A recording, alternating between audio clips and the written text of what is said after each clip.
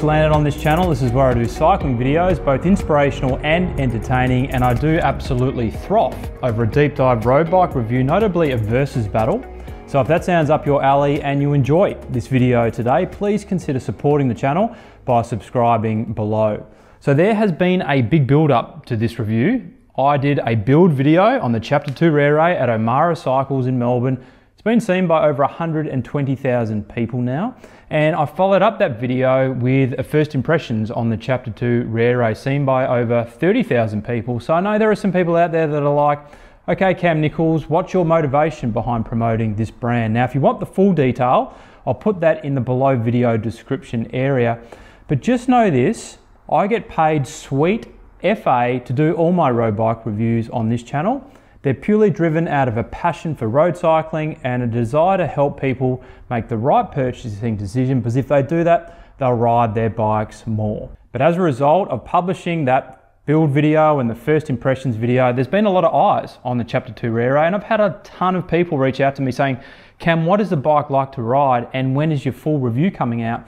So here we go. This is the Chapter 2 Rere an aerodynamic road bike that is a first generation aero road machine from Chapter 2. An emerging road brand out of New Zealand, and when I say road, that is all they do. One of the things I love about them, they just focus on road and they just do frames. Really supporting a growing desire of people that are looking to build up their own bikes. Now, I understand there's some skeptical people out there. I get it. You may not have heard of chapter 2 before, or you may be like some others and you think you can buy the same frame from AliExpress for a couple of hundred dollars. And I think it's natural to have caution when something new enters into a mature market. So I've got two things for you. We're going to go head to head with one of the most renowned road bikes in the entire world, the Specialized S-Works Venge. And number two, if you're still not satisfied with this video, I had an hour long conversation with the founder of Chapter 2, Michael Pryde, and their head of marketing, Chris Young.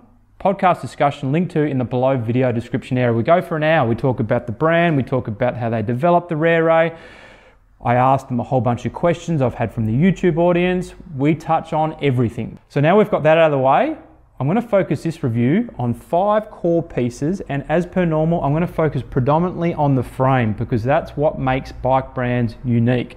Now the first thing we're going to talk about are numbers. Okay, what's the weight, what's the price, what's the tire clearance, etc. Number two, we're going to talk about airfoil versus Kammtail. Now some of you may be thinking, what the hell are you talking about? Bear with me. Number three, we're going to talk about geometry. And number four, we're going to talk about riding experiences. Now I need to talk about the other things before we get to riding experiences. So please bear with me. We're reviewing two seriously good bikes here. And fifth, in my conclusion, I'm going to tell you what bike I would prefer to take home and why. So number one, let's talk numbers. Now quickly on tire clearance, you can get 28 mil tires into this bike right here. And we're going to be talking about the disc versions. On the Specialized S-Works Venge, you can get up to 32 mil tires. Not sure why you'd want that on an aero road bike, but you can. The price point of this frame right here, I'm going to talk in AUD and splash in a little bit of USD. We're $3,600 just over for this frame. The Specialized Venge S-Works is 5,600. So we're talking about a $2,000 AUD difference or 1,500 USD. In terms of weight, now there's a lot of variables here, so I'm just going to put them up on the screen here. We've got the Chapter 2 and we've got the Specialized S-Works Venge and then we've got the totals.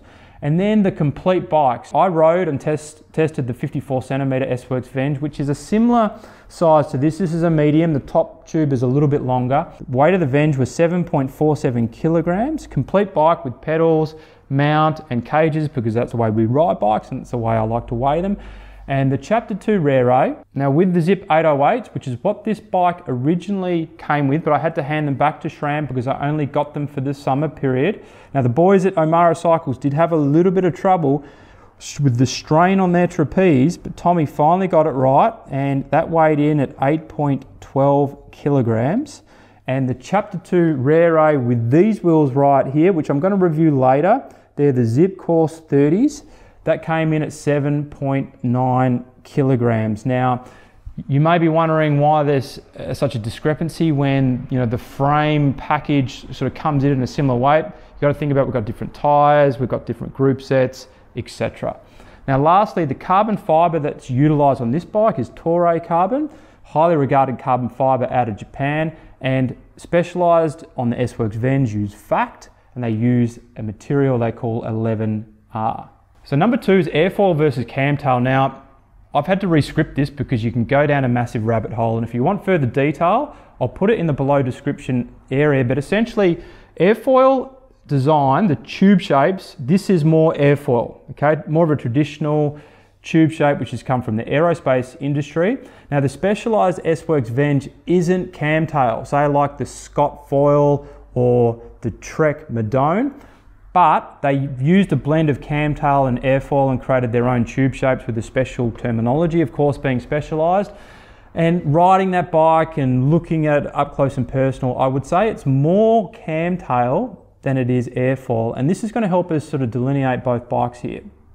So there's strong arguments on all the points that I'm going to reference here, but riding both bikes and researching this topic for quite a significant period, these five points I'm going to talk to you in my opinion. So number one, the airfoil, this design here is faster in a straight line. Notably in you know pleasant wind conditions. Some brands may argue with that, but fair chances those brands use the airfoil design for their time trial bikes. And I think that's the clincher right there. Number two is the Kammtail creates a, a better platform to create a stiffer and more aggressive performing road bike. Number three, on say erratic environmental conditions, so swirling winds, you know, crosstail, crosshead, those type of things. There's a big debate on is the Kammtail or is the airfoil better? So I'm just going to call this one even. Number four is handling and comfort. Now the actual frame geometry and the KPIs the brands put into bikes, I think has probably a bigger impact. So once again, it's hard to call this one, so I'm going to call this even.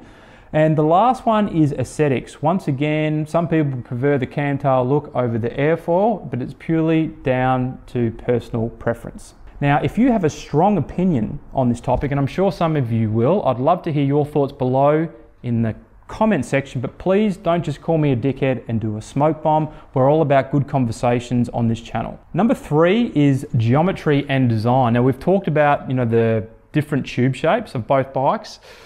Something that's really interesting on this bike is the sloping top tube, another can of worms I opened, and we're going to talk more about that in the riding experience and also the dropped and kinked seat stays on the Chapter 2 Rere. But essentially, when comparing this medium versus a 54 centimeter specialized S-Works Venge, they're pretty much the same in terms of their size.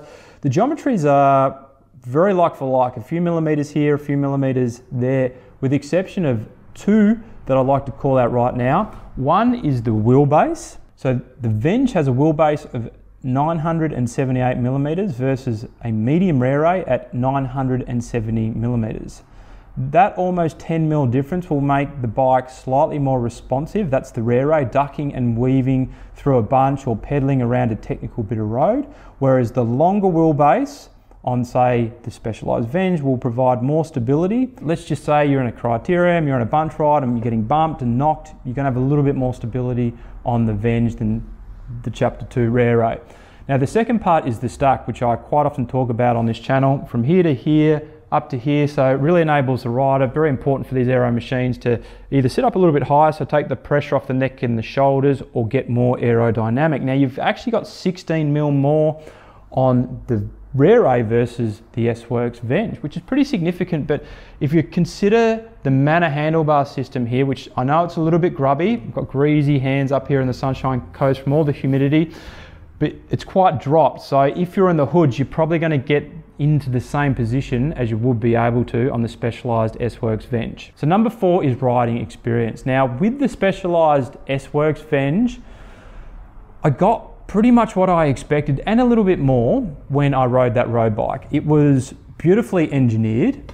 It was fast, it was aerodynamic, it was stiff, it was aggressive, super responsive out of the saddle, really what you would expect. And the aesthetics of that bike, I've never had so many people come up to me and compliment me. It wasn't my bike, they thought it was, saying what a magnificent road bike that was. And when you get up close and personal with a specialized S-Works Venge, the way it's engineered, it really is a beautiful machine. Now, the two things that sort of surprised me a little bit was comfort. Now, it's not a comfortable road bike, but they have improved the comfort from the predecessor device and the original Venge, which I rode, which was super uncomfortable, you can now take it on a 100 or 120 kilometer ride without feeling, you know, a fair amount of pressure in your neck and shoulders and your lower back. So they've done a reasonable job there. And the second one was just riding that bike with a bit of a tailwind at 30 to 33 kilometers, you'd really notice you'd get a bit of a push, like the bike was working on your behalf. So with the Rere it's been quite an interesting experience. Most of you will know I built the Rere with criteriums in mind. So it's an aero road bike, obviously. We've got SRAM 1 by, which is a 1 by system, really good for criterium racing, and I had Zipp 808 wheels on it. Now, while I think I've still got a lot to learn with riding the Zipp 808s and utilizing them to my advantage in a race, because they're actually quite phenomenal for day to day riding, 30 to 33 kilometers an hour, particularly on a blustery Melbourne day, they just weren't practical. It wasn't until I put on these Zipp wheels that the Rere started to talk to me in a different language. So for the past couple of months, I've really been getting to know some unique characteristics of the Chapter 2 Rere and also reflecting on some of the other characteristics that I built this bike for. So there are four things I'd like to walk you through right now. Number one is its speed. Is it faster than the Specialized S-Works Venge? Well, maybe in a straight line because of its design. In you know, tough, erratic environmental conditions, maybe the Venge wins. It's really hard to test these things unless you put these things in a wind tunnel, or Specialized call it a wind tunnel. And they've both been tested in wind tunnels, and to me, they both feel like really fast bikes. Okay, number two is stiffness. Now, this is a stiff bike, stiff enough for me, and you can certainly sprint out of a corner and you feel the bike respond the way a stiff road bike should. Is it as stiff as a Specialized S-Works Venge? No. If you're Peter Sagan coming out of a corner, despite the fact that the Specialized pay him, he would probably prefer to be on a Venge over this bike.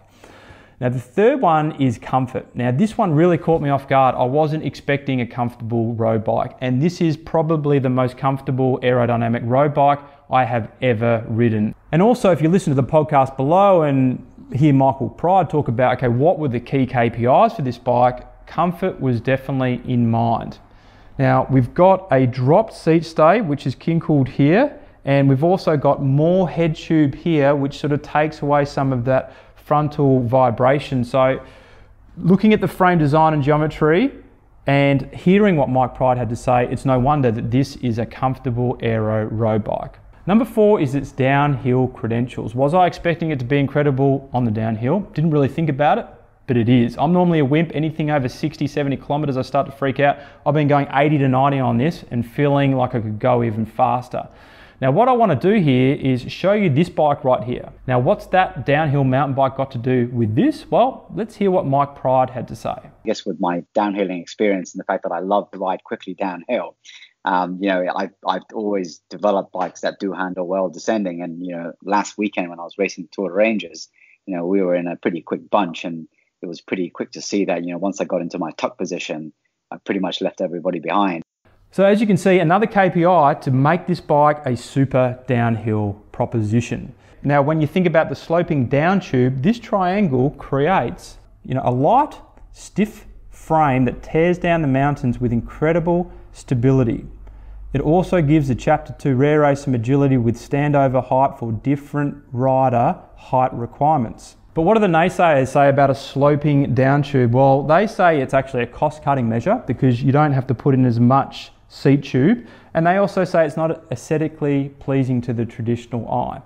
But I kind of like it and I kind of think that it has a lot to do with this bike's ability to be comfortable and also tear down the mountains. So in conclusion, which bike would I prefer to take home and why?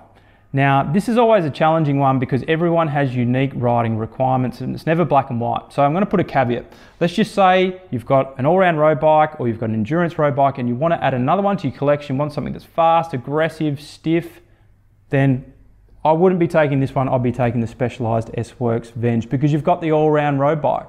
Or if you're a criterium junkie and you love sprinting out of corners, you want something stiff and aggressive, go the Specialized S-Works Venge. Now, this bike is still stiff, still aggressive, and it's obviously very fast, but its key characteristic in my mind is its ability to be a bit more all round. It's got comfort in mind. So if you're looking maybe for the first time to buy an aero road bike, or if you've owned an aero road bike before and you've been a little bit disappointed with you know the comfort levels, you've been a little bit stiff and sore after some of those longer rides, but you're still you're attracted to the aero road bike. That's what you want. Then this is the bike that you should be taking home. And my needs right now, where I'm going with my cycling, this would be best suited to my needs and thus would be the bike that I would want to take home. But having said that, they're both incredible bikes. And if you had either of them, you'd be a very happy biker.